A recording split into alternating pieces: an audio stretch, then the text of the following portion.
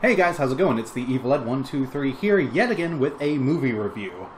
Now, when I was going to see the new Aladdin movie on the day it came out, me and the family were walking around a local flea market.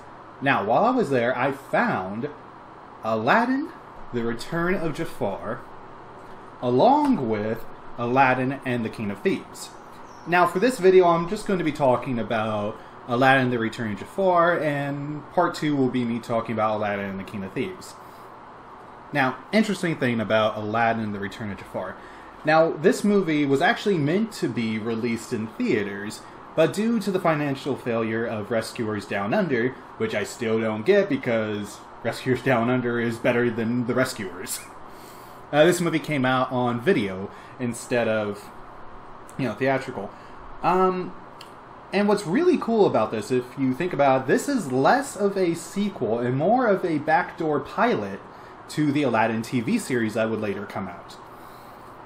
Now, not many people talk about this one, or they vaguely remember it. Most people remember more Aladdin and the King of Thieves, or the Aladdin TV show. Which, funny enough, if you were if you saw the Aladdin TV show and you didn't see The Return of Jafar first, people would be thrown off like, about why Iago's with them, why is the genie back? Well, that's why you really need to watch, you know, Aladdin: The Return of Jafar. Now, I have feelings about this. As a kid, I remember watching this over and over again, along with Aladdin, and you know, when Aladdin: The King of Thieves came out, I would watch that on repeat as well.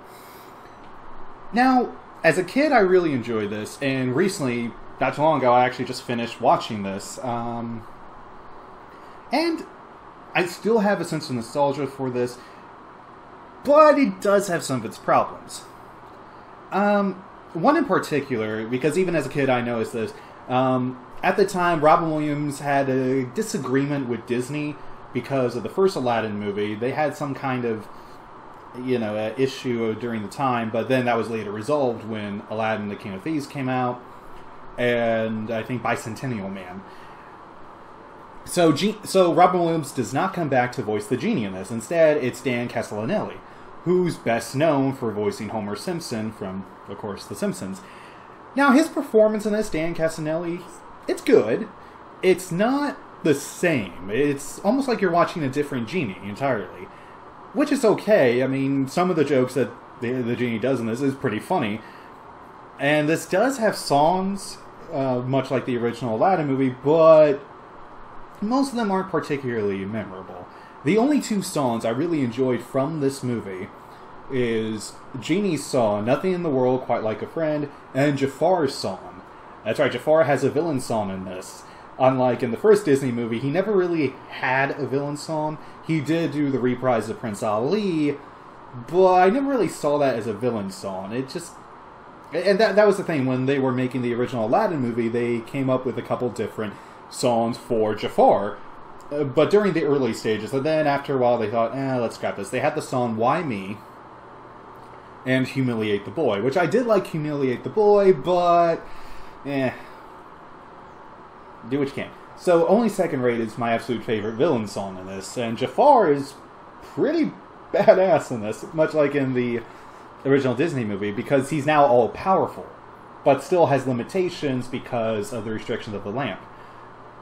And this introduces some characters that would later be in the Aladdin TV show itself, including the um, every now and then meddlesome uh, thief Abis Mal, voiced by Jason Alexander, who some of you best know for his roles in Seinfeld and um, other TV shows and movies. He he does a pretty good job in this. He's pretty funny. He's the one that I, I remember laughing the most just because of just how dumb the character was.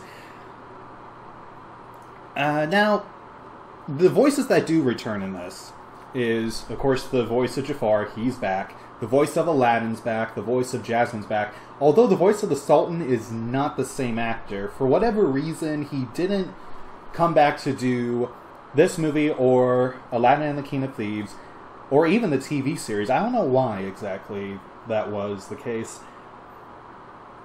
And this DVD is actually hard to come by. Uh, this was um, for those of you who don't know, sometimes Disney would release, you know, movies as a limited thing, then they would put them back in the vault and then re-release them. Uh, so this DVD, for a while, was pretty expensive. It was pretty expensive because it was one of those rare out of print movies.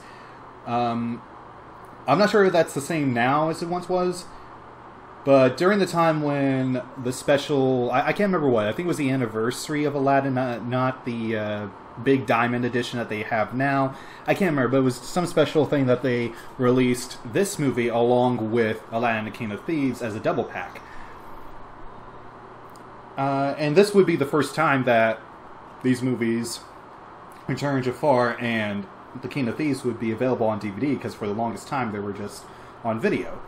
And I think Aladdin was on DVD at the time, but they never put these out on DVD until back in, I think, 2005.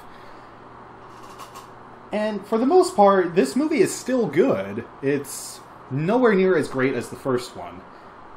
But, you know, it's still pretty fun to watch. I, I had a lot of fun watching this again. I was reminded of when I was a kid and I would pop the video in and, you know, watch it over and over again. Um, one of the things I love still from this movie is the uh, flying Batwing horses that show up. They were pretty cool, and I still think their design is awesome. And even Jafar's design as you know the genie was pretty cool. It, uh, still pretty neat. Um, and yeah, um, all in all, I still think it's a decent watch. Here's the deal: if you're watching this expecting you know a great sequel, it's not that, but it's a good follow up and also a good pilot to the TV series because this ends with Aladdin and Jasmine saying, you know what, I want to explore the world out there. There's so much to see. And that's how the movie ends. And you, for those of you who hadn't seen the series, you go like, well, what does that mean? And then, you know, the series came out. You watched it. There we go. Um, As I was saying, I wish the series was available on DVD, but unfortunately it's not the case. So all in all, Aladdin, The Return of Jafar is a great watch. Very fun. And yeah, that's all I have to say. Uh, if you guys can find a copy of this, you know, get it. Um, I was lucky enough to find this along with the other, along with King of Thieves for two dollars. Although at the uh, flea market, the table had set up three DVDs for five bucks.